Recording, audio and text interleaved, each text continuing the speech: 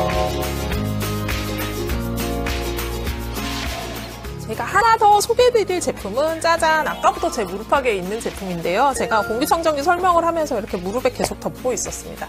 굉장히 따뜻하고 좋은데 애터미에서 찜질 매트가 출시가 됩니다. 여러분 방석 아니고요.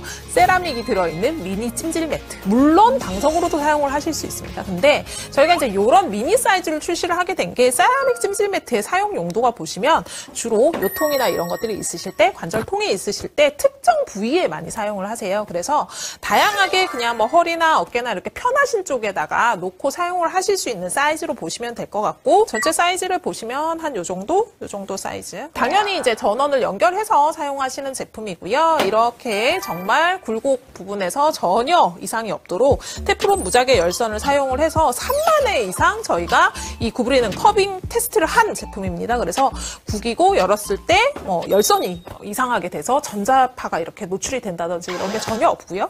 안쪽에 세라믹 볼을 진짜 넘치도록 넣었습니다. 그래서 원적외선 방사율이 세라믹 볼 기준으로 92.6%에 해당하는 세라믹 볼이 들어있고 이게 지금 저희가 이제 무게를 보시면 안쪽에 세라믹 볼이 들어가 있다 보니까 조금 무게감이 있어요. 그래서 아픈 곳에 올려놓으시면 굉장히 묵직하게 이렇게 내려오면서 조금 더 찜질 기능이 잘 되는 것 같은 그런 느낌을 받으실 수 있을 것 같습니다. 이거를 이제 저희가 커버를 이렇게 빼 가지고 세척을 할 수 있게끔 만들어 드렸어요. 그래서 이렇게 열어보시면 뒤쪽에 지퍼가 있습니다. 지퍼가 있어서 이렇게 여시고 방석처럼 사용을 하시고 안에 거를 빼내신 다음에 얘는 외부에서 세척을 하실 수 있는 그런 제품이라고 이해를 하시면 될 것 같아요. 본체를 가능하면 세탁을 하지 않으시는데 이게 방석이나 이런 용도로 사용을 하시다 보면 또 세탁을 하고 싶어질 수도 있으니까 정말 살살 문질러서 정말 가볍게 세탁을 하는 정도로 어, 그렇게 사용을 하실 수 있을 것 같습니다. 그리고 기본적으로 회색 톤의 굉장히 모노톤 커버기 때문에 실내 인테리어 어떤 곳에도 어울릴 수 있게끔 네, 만들어 드렸습니다. 그래서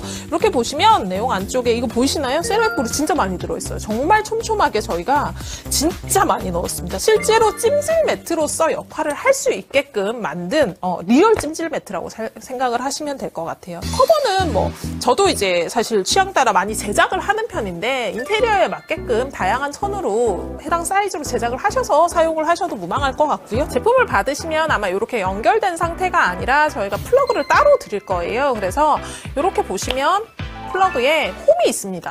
정면에 보시면 홈의 방향을 일치를 시키셔서 딱 꽂으시면 체결이 끝나는 거예요. 이렇게 해서 유격이 없게 꽂아주시고 어, 전원 버튼을 가볍게 2초간 눌러주시면 전원이 들어오죠. 네, 전원이 들어오는데 30도라고 숫자가 표시가 되면 정상이고 이거를 저희가 다이얼 값으로 이렇게 돌리시면 온도가 올라가요. 온도가 올라가는데 몇 도까지 올라가냐면 65도까지 올라갑니다. 65도. 65도면 어느 정도냐면 이렇게 되고 계속 있다고 생각을 하시면 거의 굉장히 뜨거운 정도인데 안전 설정 때문에 1시간 반 이상 50도 이상의 온도로 유지가 되면 자동으로 꺼진다는 거.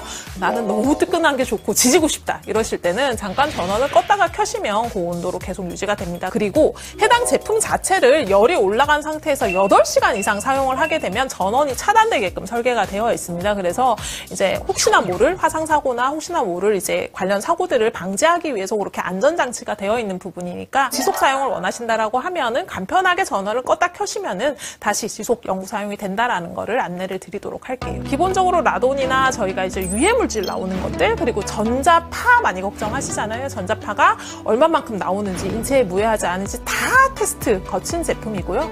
무해하다라는 결론을 받은 어, 그런 제품이라고 이해를 하시면 될 것 같습니다.